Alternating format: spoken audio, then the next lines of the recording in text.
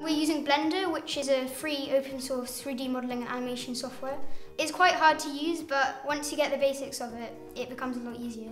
We start off with a simple cube. I've learned how to model it, how to edit it, and things like sculpting and colouring it. Uh, and then we're animating them so that they can move around. So, for example, you had a human body with a skeleton, so you can make him move his arms, do dance, move his legs. You can pretty much make anything you want. Like I know some some people in my group have made Baymax from a movie and loads of stuff.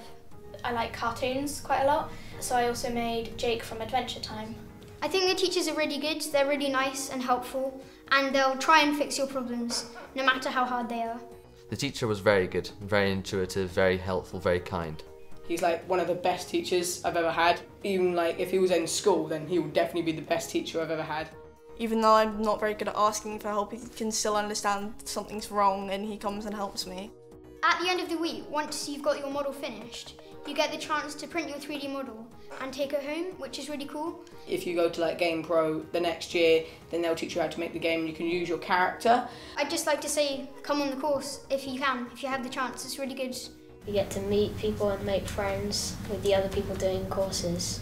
I think it's a great thing for the children to do over over the summer holidays and you know gets them out of the house doing something different learns new skills and um, yeah it's been a, a really really good thing to do I would definitely recommend it. It's got his brain back on track after a long summer. Um, and I think the fact that he's asking about new courses is a real positive.